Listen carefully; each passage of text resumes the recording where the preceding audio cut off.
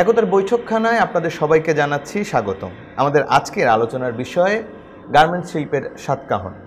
এ বিষয়ে আমাদের সঙ্গে আলোচনা করতে যুক্ত হয়েছেন গার্মেন্টস শ্রমিক ট্রেড ইউনিয়ন কেন্দ্রের সাধারণ সম্পাদক জলি তালুকদার, রূপা গ্রুপের ব্যবস্থাপনা পরিচালক শহীদুল ইসলাম এবং গার্মেন্টস শ্রমিক ঐক্য ফোরামের সভাপতি মোশরেফা মিশু। একতার বৈঠকখানে আপনাদের সবাইকে স্বাগত জানাচ্ছি। আজকে আমরা আসলে যে বিষয়টি নিয়ে কথা বলব সেটি নিশ্চয়ই গত বেশ কিছুদিন ধরে আমরা দেখছি যে বিভিন্ন গণমাধ্যমে একটি আলোচনা এসেছে। সেটি হচ্ছে গত ছয় সাত মাসে এই শিল্পের অনেকগুলি কারখানা বন্ধ হয়ে যাচ্ছে এবং এই কারখানা বন্ধের পেছনে বিশেষ করে মালিকদের পক্ষ থেকে বলা হচ্ছে যে কিছুদিন আগে যে গত বছর যে বেতন বাড়ালো, পাশাপাশি সারা বিশ্বে এক ধরনের যে গার্মেন্টসের যে পণ্য, সেগুলোর অর্ডার আনা অনেকটা কমে গেছে সব মিলিয়ে। তো আমি প্রথমে একটু শহীদুল ইসলাম, আপনার কাছে জানতে চাই যে এতগুলি গার্মেন্টস একসাথে বন্ধ হয়ে যাওয়ার কারণ কি? আপনার কাছে কি মনে হয়? জি, ধন্যবাদ। আমি আপনাদের এই একতার বৈঠকখানায় কোনো ক্রমেই মানে নিজেদের মনে করেই এখানে আস, আসলাম। ভালো লাগল, আপনাদেরকে উপেক্ষা করতে পারছি না, তাই আসছি। আপনার যে কথাটা এখন এই সময়টায় শুধু গণমাধ্যম না আরও অনেক জায়গায় এটি একটি আলোচনার বিষয় যে গার্মেন্ট শিল্পের বর্তমান অবস্থা এবং ভবিষ্যৎ কীভাবে এটা চলবে, এটা নিয়ে আলোচনা হচ্ছে। দেখুন, আমাদের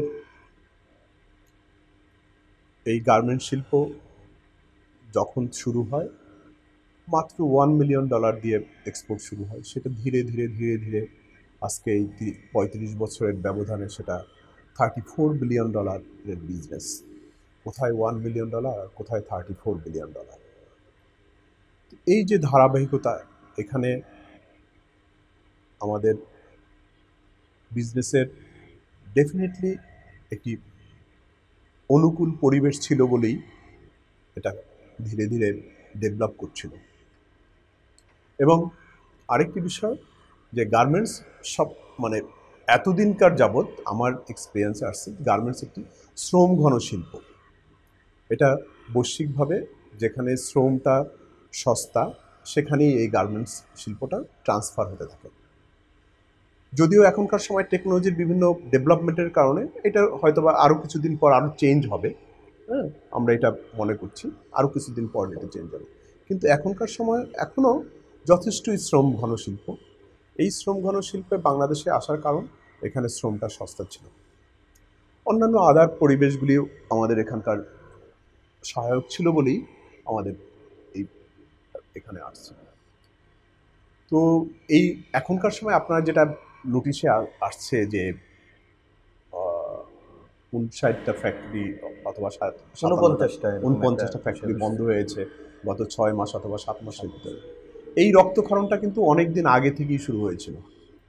আরও প্রায় দু বছর আগে থেকেই।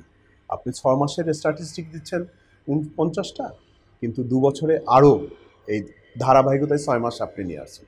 আরও এখনও ফ্যাক্টরিগুলি যেভাবে চলছে এই মুহূর্তে, এখানে সামনের দিনগুলোতে, এখা- এখানে যদি প্রপারলি অ্যাড্রেস না করা হয়, সামনের দিনগুলিতে আরও আপনারা দেখতে পাবেন।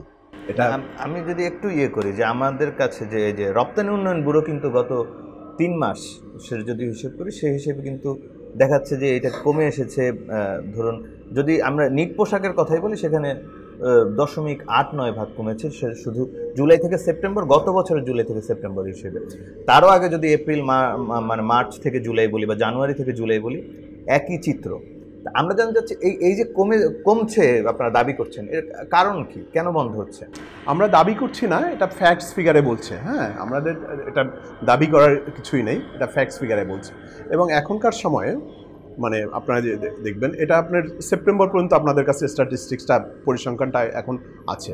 এই আপনার অক্টোবর মাসের আজকে সাতাশ তারিখ, আর কদিন বাদে, আর দুই সপ্তাহ বাদে আপনার সেপ্টেম্বরের অক্টোবরের স্ট্যাটিস্টিক্সও পেয়ে যাবেন। সেখানেও দেখতে পাবেন কি, কী অবস্থাতে আছে। এইটার কারণটা আমরা কিন্তু আগেই বলেছি। কারণটা আমাদের এখানে ধারাবাহিকভাবে আমাদের এখানে রক্তক্ষরণ হচ্ছিল।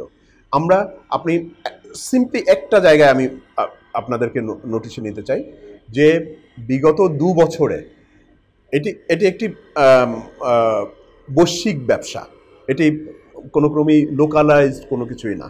বৈশ্বিক ইসের সাথে আমাদের কম্পিটিশনটা করতে হয়।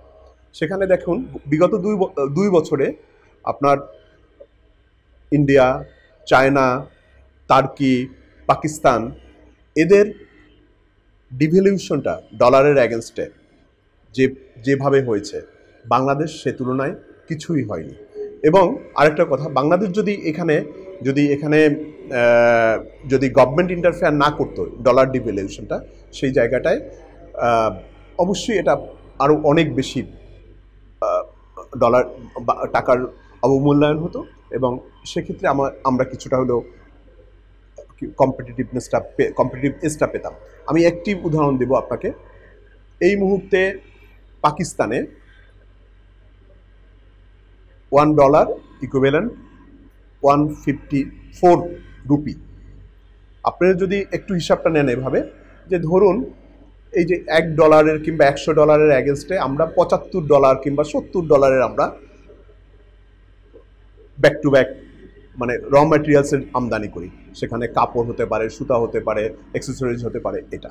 আর বাকি যে টোয়েন্টি ফাইভ পার্সেন্ট এই টোয়েন্টি ফাইভ পার্সেন্টের ভিতরে আমাদের শ্রমিকদের ওয়েজেস অন্য কর্মকর্তাদের স্যালারি ইউটিলিটি অন্যান্য ট্রান্সপোর্টেশন সহ অন্যান্য খরচ এবং এর পরবর্তীতে যদি বলেন যে মালিক সম্প্রদায়ের প্রফিট এটাও এই টোয়েন্টি ফাইভ পার্সেন্টের ভিতরেই সম্পৃক্ত। আপনি দেখুন, এই যে আমরা এখনকার সময়ে আজকে তেরাশি টাকা পঞ্চাশ পয়সা পাচ্ছি। এই তেরাশি টাকা পঞ্চাশ পয়সার ভিতরে যদি পঁচিশ পার্সেন্ট আমরা যদি ই করি, তাহলে কত টাকা আসে? আমি হিসাব করে দেখেছিলাম বোধ হয় সতেরো অথবা অথবা আঠারো টাকা আসে।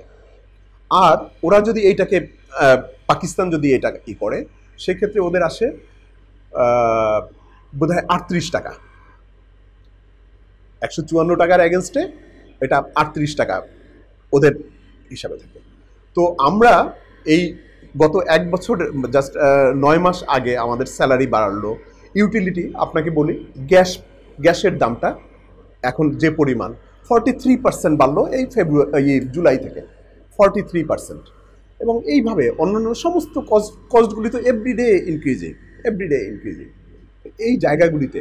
আপনি দেখুন, ওরা যদি আটত্রিশ টাকায় ওদের হাতে যদি আটত্রিশ টাকা থাকে, রুপি থাকে, তাহলে ওরা এটার থেকে স্যালারিটা দিবে কত পার্সেন্ট আমরা যেখানে এখন আট হাজার টাকা মিনিমাম আমরা দশ হাজার এগারো হাজার টাকা অ্যাভারেজ স্যালারি দিচ্ছি, যাচ্ছে। এগারো হাজার টাকা। ওরা সেইটা রুপিতে ওরা যদি দেয়, সেটা কত দিবে? আপনার পনেরো হাজার রুপি? ম্যাক্সিমাম এর বেশি তো দিচ্ছে না পাকিস্তানে। তাহলে ওদের কাছে যদি আটত্রিশ হাজার টাকা থাকে আর আমার কাছে যদি সতেরো হাজার টাকা থাকে, তাহলে আমি এই দশ হাজার টাকা দিয়ে আমার হাতে থাকে এগারো হাজার টাকা দিয়ে আমার হাতে থাকে ছয় হাজার টাকা। এই ছয় হাজার টাকা দিয়ে ওই ইউটিলিটি অন্যান্য সমস্ত কিছু পেমেন্ট করার পরে কোনো কিছু থাকার কোনো অবকাশ আছে কি? নেই। অন দ্য আদার হ্যান্ড তাদের ওখানে একটা ভালো মার্জিন থাকে। যে কারণে এই অর্ডারটা যতটা পারে কিছুটা হলে বেশ ভালো পোর্শন পাকিস্তানের। বিশেষ করে ডেনিম অর্ডারটা এখনকার সময় পাকিস্তানে শিফট হয়ে গেল। এখন বিশেষ করে ডেনিমটা অন দ্য আদার হ্যান্ড আমরা কি করছি?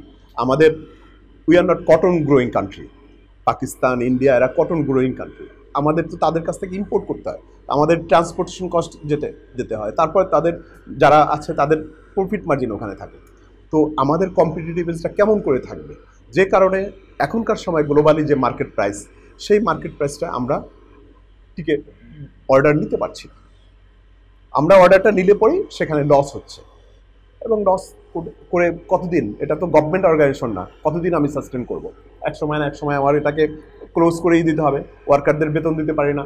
যেভাবে হোক ক্লোজ হয়ে যাচ্ছে। এই ক্লোজের ধারাবাহিকতা আপনারা দেখতে পাচ্ছেন। এই ছয় মাসে উনপঞ্চাশটা ফ্যাক্টরি বন্ধ হয়েছে। সামনে আরও দেখবেন এভাবেই হচ্ছে। হ্যাঁ, তার মানে তো আপনার বক্তব্যে আসলে খুব বেশি মানে আশার আলো দেখতে পাচ্ছেন। একটু জলি তালুকদারের সাথে কথা বলব। আপনি তো শুনলেন যে মালিকদের পক্ষ থেকে যে যেই বক্তব্যটা আসছে এবং ফ্যাক্টস অ্যান্ড ফিগারও বলছে যে গার্মেন্টস বন্ধ হয়ে যাচ্ছে, শ্রমিকরা বেকার হচ্ছে। আপনি তো শ্রমিক আন্দোলনের সাথে যুক্ত। আপনার কাছে এই যে কারখানাগুলি বন্ধ হয়ে যাচ্ছে, এই কারণগুলি কি আপনারা বের করেছেন? প্রথমত বেশ কিছু কারণের মধ্যে গুরুত্বপূর্ণ কয়েকটি কারণ হচ্ছে যে অটোমেশন মানে ধরেন একটা আগে সোয়েটার ফ্যাক্টরিতে দশজন শ্রমিক যা করতো, এখন একটা মেশিন তা করে ফেলে। ফলে অটোমেশন হচ্ছে ব্যাপক হারে এবং সেটা সোয়েটার থেকে অন্যান্য সেক্টরগুলোতেও হচ্ছে। এটা একটা গুরুত্বপূর্ণ বিষয়। আর কতগুলো গার্মেন্টসের ফিগার বিজিএমির পক্ষ থেকে বারবার বলা হচ্ছে, কিন্তু সেই ফিগারগুলোর সাথে যেহেতু আমরা সরাসরি আন্দোলনের সাথে সম্পৃক্ত, ফলে হচ্ছে আমি অন্ততপক্ষে এরকম বিশটা ফ্যাক্টরির নাম বলতে পারব, যারা বেসিক্যালি বন্ধ হয়নি ট্রান্সফার হয়েছে। ফলে ট্রান্সফার বন্ধ মানে স্থানান্তর বন্ধ, এই দুইটার মধ্যে তো একটু পার্থক্য করতে হবে। কারণ কালকেই আমি একটা ফ্যাক্টরির সাথে মানে শ্রমিকদের সাথে বসেছিলাম, তাদের হচ্ছে কারখানাটা ছিল হচ্ছে ঢাকা উদ্যানে সেইটা চলে যাচ্ছে হচ্ছে উত্তরখানে। তো উত্তরার উত্তরখানে, সেটা হচ্ছে J S L stitches limited. এর আগে কয়দিন আগে আমরা একটা চাইনিজ ফ্যাক্টরিতে মানে ট্রান্সফারের ইয়ে ধরে হচ্ছে, টঙ্গি থেকে হচ্ছে মালিকের বাড়ি পর্যন্ত গিয়েছে। তো ফ্যাক্টরিগুলোর নিজস্ব জায়গাতে কিন্তু তারা আরও ফ্যাক্টরি গড়ে তুলেছে এবং সেখানে ফ্যাক্টরিগুলো কিন্তু আরও বড় করে অনেক জায়গায় গড়ে তুলেছে। ফলে হচ্ছে পুরা বক্তব্যটা একতরফা হয়ে যায়। একতরফা হয়ে যায় যেটা হচ্ছে বক্তব্যটা মালিকদের দিক থেকে আসে, আমাদের সময় মালিকদের দিক থেকে বক্তব্যটা বা যে কথাগুলো বলা হয়, এটি, এই কথাগুলো বেশি গ্রহণযোগ্য হয় আর কি। কিন্তু আমি এই জায়গায় চ্যালেঞ্জ করে বলেছি এবং আমি কি বিজিএমির সাথে নানান কারণে আন্দোলন সংগ্রামের পর্যায়ে যখন বসতে হয়, আমি বলেছি যে উনপঞ্চাশটা ফ্যাক্টরির ফিগার সহ একটু আমাদেরকে দেন। আপনারা যেটা প্রেসে বলতেছেন, অন্যান্য জায়গায় বলতেছেন, সেটা যদি আপনারা ফিগার সহ দেন, তাহলে অসুবিধাটা কোথায়? তাহলে এটা সবার জন্য পুরা চিত্রটা, কারণ আমরা তো আমাদের স্লোগানই হচ্ছে শ্রমিক বাঁচাও, দেশ বাঁচাও, শিল্প বাঁচাও। শিল্প বাদ দিয়ে তো আর শ্রমিক না। ফলে হচ্ছে এই জায়গাটার ক্ষেত্রে তো আমরাও পজিটিভ এই জায়গাগুলো বলতেছি। ফলে একতরফা হয়। আরেকটা গুরুত্বপূর্ণ বিষয় হচ্ছে, আমাদের দেশের মালিকরা এখানে প্রতিযোগিতা বায়ার, বিদেশি বায়ারদের সাথে সিএম ঠিক করার ক্ষেত্রে পোশাকের দাম ঠিক করার ক্ষেত্রে এখানে মাল, মালিকদের মধ্যে একটা অসুস্থ প্রতিযোগিতা আছে। এই অসুস্থ প্রতিযোগিতার ফলে হয় কি, অনেক সময় অর্ডারটা ধরেন আপনি হয়তো দশ ডলার দিয়ে নেবেন, আরেকজন আইসা বলল যে আমাকে পাঁচ ডলার দিয়ে দিয়ে দেবো এরকম একটা অসুস্থ প্রতিযোগিতা। এখন বার্গেনিং করার যে ক্যাপাসিটি আমাদের মালিকদের, যেখানে হচ্ছে আমাদের অবস্থান গার্মেন্টস শিল্পে রপ্তানির জায়গা থেকে একটা ভালো অবস্থানে রয়েছে, সেই জায়গায় বার্গেনিং করার মানে পরিস্থিতিটা দর কষাকষির জায়গাটা কিন্তু আমাদের মালিকদের আরেকটু মানে আরেকটু ভালো জায়গায় যাওয়া দরকার। আরেকটা বিষয় এখানে আমি গুরুত্বপূর্ণ যুক্ত করতে চাই হচ্ছে, দেখেন যে আমাদের যখন মজুরি বৃদ্ধি হলো, আপনারা দেখেছেন মজুরি বৃদ্ধির যে আন্দোলন যখন চলে, তখন তার আগে আগেই সরকারের পক্ষ থেকে মালিকদের একটা প্রণোদনা দেওয়া হলো। এমনকি সরকার ক্ষমতায় যাওয়ার আগেই যে আন্দোলনটা আমরা মজুরি বৃদ্ধির জন্য করলাম, শ্রমিক এখানে গুলি করে হত্যা করা হলো, এক ধরনের শ্রমিকের রক্তে রঞ্চিত হলো জায়গাটা আমাদের দেশ, এবং তার মধ্যে দিয়ে তারা শপথ করার আগেই কিন্তু আরেকটা প্রণোদনা দেওয়া হলো। এমনকি বাজেটে আপনারা দেখেন, এত বড় বাজেট হলো বাংলাদেশে, সেখানে কিন্তু আমাদের শ্রমিকদের জন্য বা কৃষক সাধারণ মানুষের জন্য কোনো বরাদ্দ নেই। এখানে মালিকদেরকে আবার একটা প্রণোদনা বাজেটে নির্ধারিত করে দেওয়া হলো, যেখানে দীর্ঘদিন ধরে বাজেটে আমরা রেশন বাসস্থানের কথাটা বলে আসতেছি। এই জায়গা বিষয়ে কিন্তু সরকার এবং মালিকদের পক্ষ থেকে কোনো ধরনের ফয়সালা করা হলো না। ফলে হচ্ছে এটা ঠিক একটা আন্তর্জাতিকভাবে একটা ফিনান্সিয়াল ক্রাইসিস বা একটা ডিপ্রেশন তৈরি হচ্ছে, সেটা আরও আমাদের গভীরভাবে অ্যানালাইসিস করতে হবে, এটার ইম্প্যাক্ট আমাদের দেশে কতটুকু পড়বে, না পড়বে সেটাও আমাদের বিবেচনায় নিতে হবে। কিন্তু তার সাথে সাথে আপনি যে ফিগারটা বললেন, ব্যবসার আপ ডাউন কিন্তু আছে, এটা শহীদুল ভাই হয়তো স্বীকার করবেন, এই বছর খারাপ এই সময়টার সাথে গত বছরের তুলনা করতেছেন। এর দশ বছরের অতীত যদি আপনারা কম্পেয়ার করেন, এক বছর আরেক বছরের সাথে তুলনা করেন, দেখবেন যে প্রতি বছরেই আমাদের এই বছর যদি একটু এই টাইমটা ভালো হয়, একই টাইমে পরের বছর একটু খারাপ হচ্ছে। তার তার চেয়ে বড় কথা হচ্ছে চৌত্রিশ বিলিয়ন ডলারের কথা বললেন। কয়দিন আগেও তো সেটা চৌত্রিশ বিলিয়ন ডলার ছিল না আমাদের। সে রপ্তানি আয়টা চৌত্রিশ বিলিয়ন ডলার হচ্ছে, হয়তো কয়েক মাস এটা একটু খারাপ যাচ্ছে, পরের মাস বাড়বে। ফলে হচ্ছে অনেকগুলো চিত্র আমরা যদি একটু সামগ্রিকভাবে এটা বিবেচনা করি তাহলে হচ্ছে মানে বয়ানটা বা ভাষণটা একতরফা যায় না আর কি। তাহলে একটা সত্যি উনি যেভাবে বলছেন যে সেভাবে তো বিগত বছরগুলিতেও অনেক কারখানা বন্ধ হয়েছে শুধু ছয় সাত মাস না উনি বলছেন। আবার আপনি বলছেন যে ছোট কারখানা বড় হচ্ছে সেই বিষয়ে। উনি তো এক ধরনের হতাশা প্রকাশ করছে। আপনি কি বলবেন? আপনি কি আসলে উনি জানেন আমাদের আইনে স্থানান্তরের একটা আমাদের আইনে ছিল স্থানান্তর আট কিলোমিটারের মধ্যে স্থানান্তর যদি হয় ফ্যাক্টরি তাহলে হচ্ছে তেমন কিছু শ্রমিকদেরকে দিতে হবে না। শ্রমিকরা সেই সব জায়গায় যাইতে বাধ্য দুইটার মাগে আমাদের এই আইনটা করা হয়েছে চল্লিশ কিলোমিটার। চল্লিশ কিলোমিটার করার কারণটা কি? আমাদের শহরে যেসব ফ্যাক্টরি ছিল, সব কিন্তু ট্রান্সফার হয়ে একটু মানে ইন্ডাস্ট্রিয়াল এরিয়া যে জায়গায় গড়ে উঠছে, সেই সব জায়গায় চলে গেছে। সেই সব জায়গায় চলে গেছে। আর পুঁজির তো একটা সাধারণ নিয়ম আছে। ছোট ছোট পুঁজি বড় পুঁজির কাছে ধরা খাটে। এবং আমরা সেটা জানি। এবং বড় বড় ফ্যাক্টরি যারা করতেছেন এবং একচিটিয়া যারা হচ্ছে পুরাটা নিয়ন্ত্রণ করতেছেন ফ্যাক্টরিগুলো তাদের আন্ডারে চলে যাবে। এটা তো পুঁজির ধরন অনুযায়ী আমরা আটকাইতে পারব না। ফলে তারপরেও আমাদের একটা ভেবে দেখা দরকার ছোট ছোট মালিকদের ক্ষেত্রে সেটা কীভাবে ভাবা যায় সেটা দেখা দরকার আর কি। আপনার কাছে করি। আসব এক- এক- আমি একটু মোশ- মোশরফা মিশুর বক্তব্য নিয়ে আসছি। এক- আপনার এতক্ষণ তো দুজনের আলোচনা শুনলেন আপনিও তো শ্রমিক আন্দোলনের সাথে যুক্ত। এই আজকে তো আমরা আলোচনা করছি যে গার্মেন্টসগুলি যে বন্ধ হয়ে যাচ্ছে সে কারণে সে বিষয়ে। আপনার বক্তব্য কি এই বিষয়ে? ধন্যবাদ। গার্মেন্টস ফ্যাক্টরিগুলি বন্ধ হয়ে যাচ্ছে, আমি মনে করি যে ঢালাওভাবে এই কথা এই কথা বলার কোনো আসলে বাস্তবতা নাই। আমি মনে করি না, এবং আমি মনে করি যে ঢালাওভাবে গার্মেন্ট ইন্ডাস্ট্রিগুলি বন্ধ হয়ে যাচ্ছে, এটা ঠিক না। আমরা যখন ইন্ডাস্ট্রিটা শুরু হয়েছিল, ছিয়াত্তর নাগাদ, ধরেন আটাত্তর থেকে তো সিরিয়াসলি শুরু করে হয়ে আজকে চল্লিশ বছরের মধ্যে এসে পৌঁছেছে।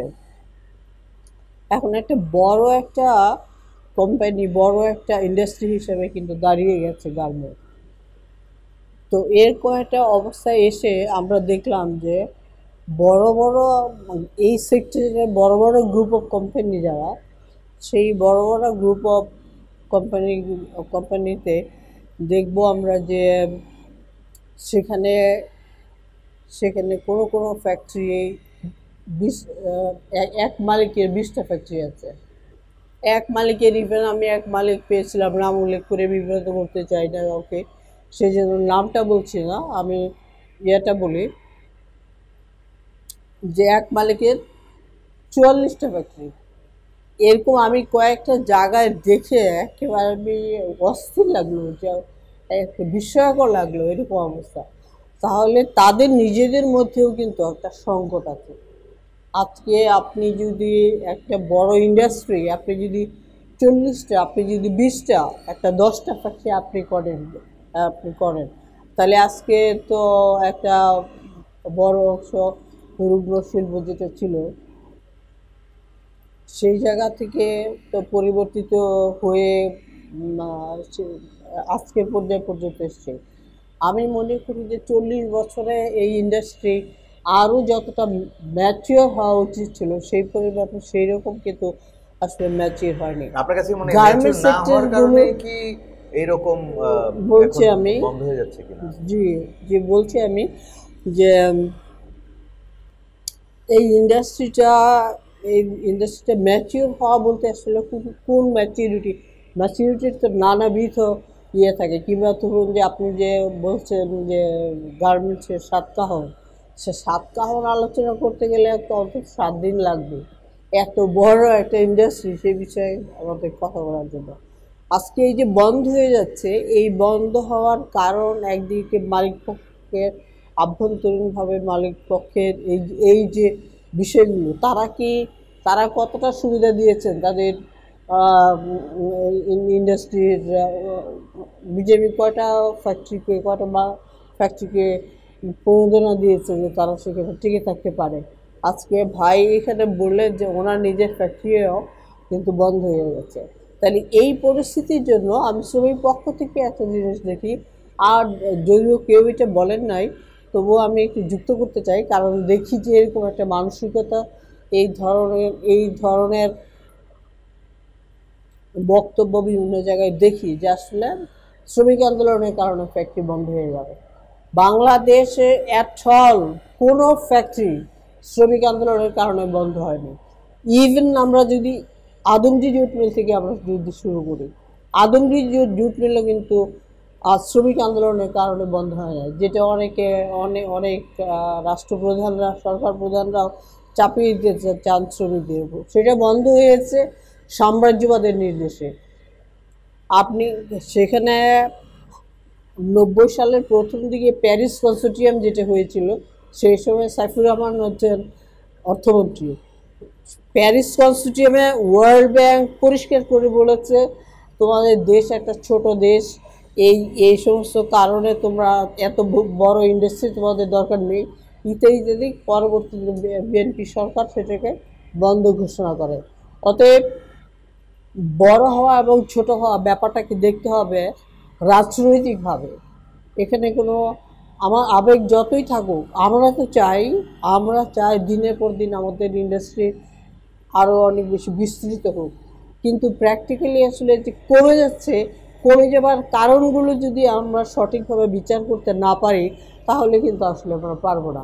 শ্রমিকদের রেসপন্সিবিলিটি আছে, কিন্তু মালিক পক্ষ এবং সরকার, তাদের যদি সেই কমিটমেন্ট থাকে যে বাংলাদেশের জাতীয় অর্থনীতিকে স্ট্রেনদেন করার জন্য আমরা আমাদের এই ইন্ডাস্ট্রিকে আমাদের শক্তিশালী করতে হবে।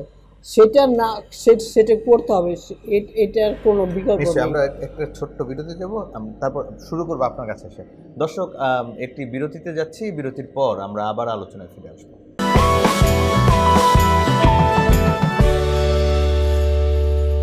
বিরতির পর আবারও স্বাগত জানাচ্ছি একতার বৈঠকখানায়। আমরা আলোচনা করছিলাম গার্মেন্টস শিল্পের বিভিন্ন দিক নিয়ে।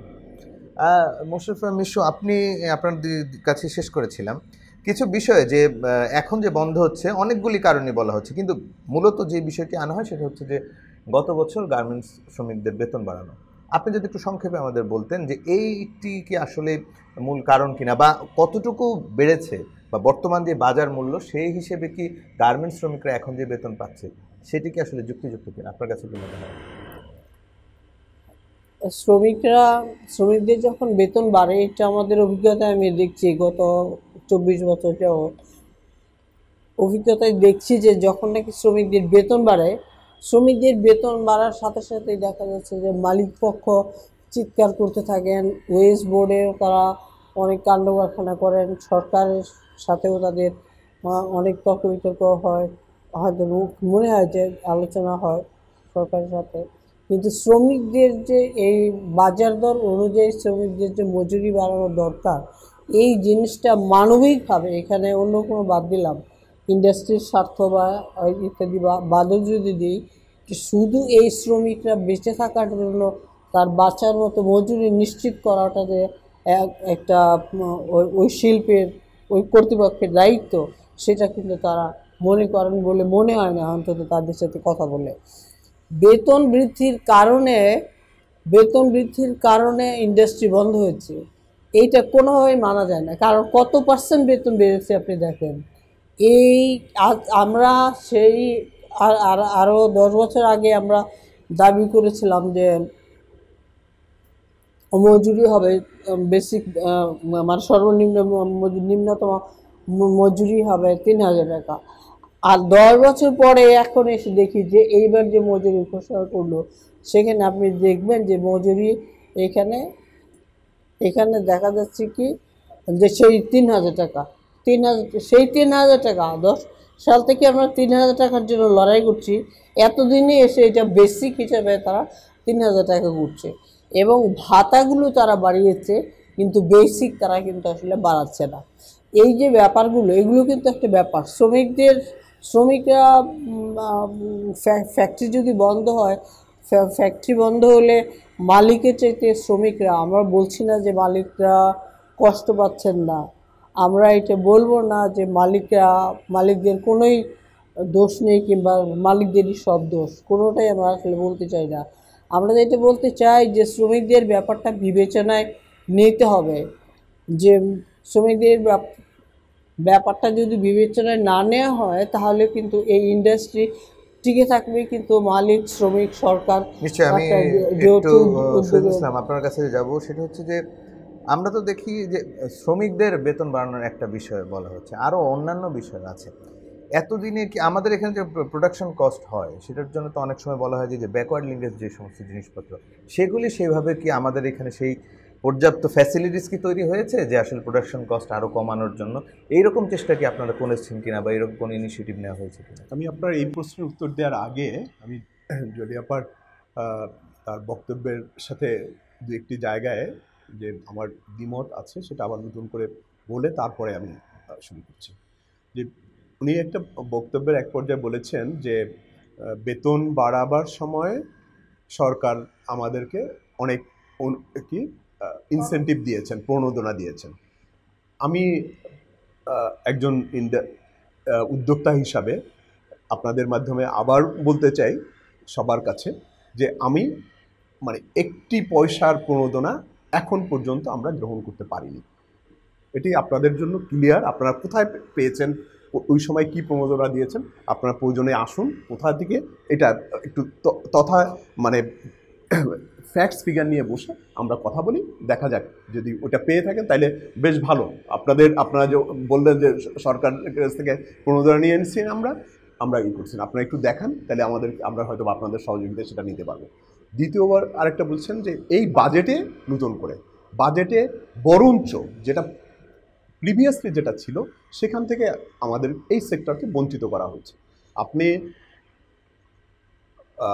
ওয়ান পার্সেন্ট হারে তারা ই করে দিল? অ্যাডসোর্স ডিডাকশন অ্যাডসোর্স ডিডাকশন সেইটা বিগত বছরগুলিতে সব সময় এরকমের ছিল, পরবর্তীতে আবার তারা ওইটা পয়েন্ট টু ফাইভ করে পয়েন্ট সিক্স জিরো করে দিয়েছে এবং সেটা রেট্রোস্পেক্টিভ ইফেক্ট হিসাবে পহেলা জুলাই থেকে ফাইন্যান্সিয়াল ইয়ারে কার্যকর হয়েছে। এবছর একটা শুভঙ্করের ফাঁকি দিয়ে পয়েন্ট টু ফাইভ কিন্তু আজকে থেকে, বিশে অক্টোবর থেকে সেটা কার্যকর হলো। এই যে মানে জুলাই, আগস্ট, সেপ্টেম্বর, অক্টোবর, বিশে, অক্টোবরের বিশে অক্টোবর পর্যন্ত যে আমরা এক্সপোর্ট ডকুমেন্টসটা দিলাম, ওখান থেকে যে আমার কাছে এখন ফিগারটা নাই, কত বিলিয়ন ডলার এই সময় এক্সপোর্ট হয়েছে, ওখানের যে পয়েন্ট সেভেন ফাইভ যে আকারে সবার যে একটা ছিল, সেটা তো আমরা পাচ্ছি না। অথচ বিগত বছরগুলিতে আমরা এটা পেয়ে আসতাম। তাহলে আপনাকে, আপনাদের ইনফরমেশনের জন্য এটা দরকার, আপনাদের এগুলি নেওয়া দরকার। আরেকটি বিষয় উনি বলেছেন যে শ্রমিকদের বাসস্থান রেশনিং এইগুলির ব্যাপারে কেন আমরা বলব না? অবশ্যই বলব সব সময় বলব। এটা সরকারের দায়িত্ব। আপনারা, আমরা অনেক এখনকার সময় বয়স ছাপ্পান্ন, সাতান্ন, আমরা ছোট সময় দেখেছি। আমাদের, আমরা কত টাকায় পড়াশোনা করেছি? আমরা তো লেখাপড়া করেছি। আমাদের পড়াশোনার খরচ ছিল কি? আজকে একটা একটা যে কোনো সে শ্রমিকের সন্তানই হোক, আর ধরুন মধ্যবিত্ত সরকারি চাকরিজীবী, তাদের সন্তানের পড়াশোনার খরচ। এটা তো রাষ্ট্রের দায়িত্ব থাকবে। এটি তো মানে শুধুমাত্র বেতন ভাতা দিয়ে এইভাবে আজকে দশ হাজার টাকা বেতন পাবে? সেখান থেকে দু হাজার, তিন হাজার টাকা শিক্ষার একটা বাচ্চার, ছোট একটা বাচ্চার শিক্ষার পিছনে ব্যয় হবে। তাহলে সে খাবে কি করে? সে চলবে কি করে? এটি তো রাষ্ট্রের দায়িত্ব থাকবে। এখানে তো রাষ্ট্র সেই দায়িত্বটা নিচ্ছে না। অবশ্যই রাষ্ট্রের এই দায়িত্ব। বরঞ্চ এখনকার সময় রাষ্ট্র অনেক বেশি ইনকাম করে প্রিভিয়াস সময়েরগুলির তুলনায়। রাষ্ট্র আমরা বিভিন্ন খাতে, যে যে শ্রমিক আজকে এই আট হাজার টাকা কিংবা যে আপনারা আপনাদের ভাষায় শ্রমিকদেরকে ঠকানো ঠকানো, এই যে আট হাজার টাকা দিয়ে সে যে জীবনযাত্রা করছে, এখান থেকে যে পরিমাণ রাষ্ট্র নিচ্ছে, ভ্যাট, অন্যান্য আকারে রাষ্ট্রকে, এই শ্রমিক যে টাকাটা দিচ্ছে, সেইটাও যদি তার পিছনে খরচ করা হতো তাহলে সেইটার একটা অংশ প্রপারলি যদি তাদের পিছনে খরচ করতো রাষ্ট্রের সেই দায় দায়িত্বটা রাষ্ট্র পালন করতো। কিন্তু রাষ্ট্র এই দায় দায়িত্বটা পালন করতে ব্যর্থ ব্যর্থ হচ্ছে। এই যে আমি ওনার এই তিনটা জায়গায় আপনি আপনি যখন রাষ্ট্রেরই কথা বললেন সেক্ষেত্রে এখানে শুধু আমরা তো দেখেছি যে পোশাক উৎপাদনের ক্ষেত্রে যে পরিমাণ আপনারা ইনভেস্ট করেছেন সেক্ষেত্রে আমি যে ব্যাকওয়ার্ড লিঙ্কেজের কথা বলছিলাম এখানে তো উৎপাদন খরচ হচ্ছে। চায়না থেকে আমার ম্যাটেরিয়ালস আনতে হয় বিভিন্ন জায়গা থেকে আনতে হয়। তো এই ক্ষেত্রে তো এক ধরনের অভিযোগ আছে আপনারা শুধুমাত্র এই খাত থেকে যে আয় করেছেন সেটি আর অন্যান্য জায়গায় যে এই সমস্ত ব্যাকওয়ার্ড লিঙ্কেজের যে সমস্ত জায়গা তৈরি এটি- করা এটি আপনাদের তথ্যগত ভুল রয়েছে তথ্যগত বিভ্রান্তি রয়েছে। আপনি এই বাংলাদেশে আমরা আমরা দেখেছি আশির দশকে ঢাকা শহরে কি ছিল? হ্যাঁ নব্বইয়ের দশকে কি ছিল? এটি এই যে পোশাক খাত থেকে যে আয় হয়েছে তারা সম্পূর্ণ আবার পুনর্বিনিয়োগ এখানে করেছে। আমি আমার জীবনের প্রথম জীবনের নব্বই দশকে আমি ব্যবসায় আসি। তখনকার সময় আমাদের এক্স ইম্পোর্ট মানে যেটা করতে হতো, তার সেভেন্টি পার্সেন্ট আমাদের বাইরে থেকে ইম্পোর্ট করতে হতো। আজকে আজকে বরঞ্চ উল্টো, আজকে সেভেন্টি পার্সেন্ট আমরা লোকালি সংগ্রহ করি থার্টি পার্সেন্ট হয়তো আমরা বাইরে থেকে আনি। তাহলে এখানে অনেক ইন্ডাস্ট্রি অনেক ব্যাকওয়ার্ড লিঙ্কেজ এগুলি গড়ে উঠেছে। কিন্তু কিছু কিছু বিষয় যেগুলি রয়েছে, যেগুলি আমি এর আগেই বলেছি, আমরা we are cotton growing country না। আমাদের এটা সেই পাকিস্তান, ইন্ডিয়া, উজবেকিস্তান যারা ওদের কাছ থেকেই আমাদের এটা ইম্পোর্ট করবে। তারা একটা অ্যাডভান্টেজেস পজিশনে থাকে। তারপরে আরও অনেক কিছুই, ধরেন লবণ উৎপাদন, এরকম অনেক কিছুই ওদের কাছ থেকে আমাদের আনতে হয়। আর এটা এতই ইন্টার রিলেটেড আজকের যুগে। আমরা সব কিছুই আমি আমার ঘরে তৈরি করে তারপরে আমি করব এটা সম্ভব নয়। এটা অনেক চেঞ্জ আমি জলি তালুকদার আপনার কাছে জানতে হবে যে উনি যে বললেন যে আমি আমি একটু আরেকটি সময় নিচ্ছি। আমি দেখতে পারব না তারপরে যে উনি আরও কারখানা বন্ধ হয়নি আমি যদি ওনারা সেটা বলতে চান আমার আমাদের কোনো আপত্তি নাই বেশ ভালো এটা তাহলে এভাবে চলুক হ্যাঁ আমরা ওয়েলকাম জানাব স্বাগত জানাব আচ্ছা, হ্যাঁ এবং একেবারে শেষ নেওয়ার জন্য আরেকবার আসব কিন্তু তার আগে একটু জলি তালুকদার আপনার সাথে একটু জেনে যে এই যে সরকারের দিক থেকে যে ওনারা চাচ্ছেন যে বিভিন্ন ধরনের সুযোগ সুবিধা সেটা ছাড়াও কি ওনাদেরকে আপনার কি মনে হয় আমি একটা আমি যে কথাটা বলতে চাই আগে বলতে ভুলে গেছি। গ্যাসের মূল্য বৃদ্ধির প্রতিবাদে কিন্তু আমরাই রাস্তায় নেমেছি। কোনো মালিককে দেখেছেন? গ্যাসের মূল্য বৃদ্ধি হয়েছে দিকে রাস্তায় নেমে আসতে আসেননি। গ্যাসের মূল্য বৃদ্ধির যে একটা ইম্প্যাক্ট সব জায়গায় পড়তেছে এটার ক্ষেত্রে কিন্তু ওনাদের কোনো বক্তব্য দেখা যায় না। আবার উনি যেটা বললেন শহীদ ভাই বললেন এবং বিজিএমইকেও বারবার বলতে দেখি আর কি ডলারের এগেনস্টে মানে টাকার যে অবমূল্যায়ন হওয়া দরকার আর কি, এই জায়গাটা এই জায়গাটা তো আমাদের অর্থনীতির জন্য এটা ভালো না। বেসিক্যালি অর্থনীতির জন্য এটা খুবই খারাপ। আরেকটা জায়গা আমি একটু যুক্ত করতে চাই, আমাদের দেশের কোনো টাকা যে নয় লক্ষ কোটি টাকা হচ্ছে পাচার হয়ে গেছে, এবং সেই টাকা কিন্তু শহীদ ভাই কিছু মনে করবেন কিনা জানি না, মনে করলেও বলতে হবে যে সেই টাকা কিন্তু বেশিরভাগ হচ্ছে মালিকরা করেছে। হ্যাঁ আরেকটা অংশ আছে লুটেরা যারা সেই টাকা পাচার করেছে। মালিকদের একটা বড় অংশ কিন্তু বিদেশে যায়। মজার বিষয় হচ্ছে ইন্ট্রা ইন্ট্রাম্যাক্স একটা কারখানা আছে গাজীপুরের চৌরাস্তায়। এইখানে আমি পরবর্তীতে আমরা একটু স্টাডি করলাম। অনেক বড় গার্মেন্টস ওনাদের কাছে অন্য স্টাডি থাকতে পারে। কিন্তু আমাদের কাছে যেটা স্টাডি যে ওনাদের যে ছেলে এবং বাবা দুইজনই মালিক ছিল দুজনই কানাডা চলে গেছেন এবং ওখানে বিয়ে করছে। ফলে হয়েছে কি, এত বড় ফ্যাক্টরিটা নষ্ট হয়ে যাচ্ছে কিন্তু ওনাদের বড় অংশ সহায় সম্পত্তি বড় একটা অংশই কানাডায় চলে গেছে। ফলে এই ধরনেরও একটা এই ধরনের এই- ধরনেরও একটা অবস্থা থাকে আর তাহলে বেগমপাড়া গড়ে উঠে নাই। আপনি বলতে চান এইসব জায়গায় হচ্ছে আপনি যে এনাজ সাহেবের কথা বলছেন ইন্টারমেক্স ওনার ব্যাপারে আপনি এটা আপনার ভুল তথ্য। আপনি আসুন আমি ওনার সাথে ওনাকে ডাকবো এবং প্রয়োজনে ওনার কোথায় কি আছে এই বাজেটে আপনারা কোনো বরাদ্দ পান নাই? আপনাদের উৎস কর কর্পোরেট কর যেটা বলতেছেন সেটা কি আমি বললাম তো সেই জায়গায় কোনো কিছু হয় নাই আমরা যদি এখানে একটা আপনি শহীদ যদি একটা বলতে পারতেন। যদি পেয়ে থাকি হ্যাঁ। হ্যাঁ একটা যদি কোনো কিছু আপনাদের সাথে- আপনি আসুন আমরা আপনাদের সাথে মিলায় যে কথাটা আমরা বলতে চাই সেটা আপনাদের জন্য বলতে চাই যে সিএমটা বাড়ানোর ক্ষেত্রে আপনাদের মালিকদের মধ্যে যে অসুস্থ প্রতিযোগিতা যেটা বিজিএমইর অনেক গুরুত্বপূর্ণ নেতৃবৃন্দ কথা বলার ক্ষেত্রে এটা স্বীকার করেছেন সেই জায়গাটা বন্ধ করে বায়ারদের উপরে তো চাপটা তৈরি করা উচিত যারা হচ্ছে অনেক বেশি টাকা তারা পোশাক থেকে আমাদের দেশের সস্তা শ্রমের উপর দিয়ে নিয়ে যাচ্ছে, তাদের ক্ষেত্রে আর কি, এই জায়গাটা গ্যাসের মূল্য বৃদ্ধির ক্ষেত্রে সেই জায়গাটায় আসতে পারতেন আর কি। আমি সর্বশেষ যেহেতু আমার কথা বলার মানে সময় কম, আমি শুধু কয়েকটা পয়েন্ট একটু বলতে চাই। সেটা দেখেন, এর মধ্যে মজুরি বৃদ্ধির সাথে সাথে আমি যদিও মনে করি, আমরা মনে করি বাজার দরের সাথে এটা সামঞ্জস্যপূর্ণ মজুরি হয় নাই। কিন্তু মজুরি বৃদ্ধির সাথে সাথে সিনিয়র শ্রমিক যারা যারা অনেক দিন ধরে চাকরি করছেন, যাদেরকে আসলে কিছুটা ছাঁটাই করলে বা টার্মিনেট করলে কিছু টাকা পয়সা দিতে হয়, ব্যাপক হারে ছাঁটাই হয়েছে। কারণ শ্রমিকের তো আসলে অভাব নেই। ফলে হচ্ছে যারা দীর্ঘদিন চাকরি করতেছেন, তাদেরকে বাদ দিয়ে নতুন শ্রমিক নিলে কিন্তু তাদের জন্য সুবিধা হয়। কারণ অনেক বড় অঙ্কের টাকা তাদের দিতে হয় না মালিকদের। এই এই কাজটা কিন্তু ছাঁটাই নির্যাতনের কাজটা কিন্তু ব্যাপক হারে চলতেছে। সর্বশেষ আমি যেটা বলতে চাই, আমরা উত্তরায় দশটা ইউনিয়ন সাবমিট করেছিলাম। ইউনিয়ন তো খারাপ না। যেটা মিশোয়াপা বলেছেন বলেছেন যে আদমজি জোটমিল তো চ্যালেঞ্জ করেছিলেন আমাদের নেতৃবৃন্দ, ইউনিয়নের নেতৃবৃন্দ। মানে তখনের সরকারকে বলেছিলেন যে আমাদেরকে মাত্র দুইশো কোটি টাকা দাও, আমরা আদমজি ফুল প্লেজে চালু করব। আর বিশ্বব্যাংক আটশো কোটি টাকা দিল তখন এই মানে আদমজি বন্ধ করার জন্য এবং আদমজি মানে এশিয়ার সবচেয়ে সর্ববৃহৎ পাটকলটা বন্ধ হয়ে গেল। একই সময় হচ্ছে ইন্ডিয়াতে আট আটটা, আটটি পাটকল চালু হলো। ফলে হচ্ছে ইউনিয়নের নেতৃবৃন্দ যারা দায়িত্বশীল ইউনিয়ন, যারা মালিকের পকেট বা ইয়েলো ইউনিয়ন না তারা যদি না হয়, বিপ্লবী ধারার যারা ট্রেড ইউনিয়ন করছেন, তারা কিন্তু কাজটা করছেন। এবং আমাদের দেখেন উত্তরায় এই দশটা ইউনিয়নের চৈতি গ্রুপের তিনটা ফ্যাক্টরি আছে, সেখানে প্রায় একশো সাতষট্টি জনকে, আমাদের সাতান্ন জনকে হচ্ছে আমাদের শ্রমিকদেরকে মানে টার্মিনেট করা হলো। যারা ইউনিয়নের নেতৃবৃন্দ আমরা সাবমিট করেছি। ফলে ট্রেড ইউনিয়নের অধিকার তো এখানে নাই। ট্রেড ইউনিয়নের অধিকার থাকলে যেটা সুবিধা হবে। শহীদ ভাই তো আহ, অনেক কিছু জানেন ট্রেড ইউনিয়নটা কোথায় থেকে আসছে সেটাও জানেন।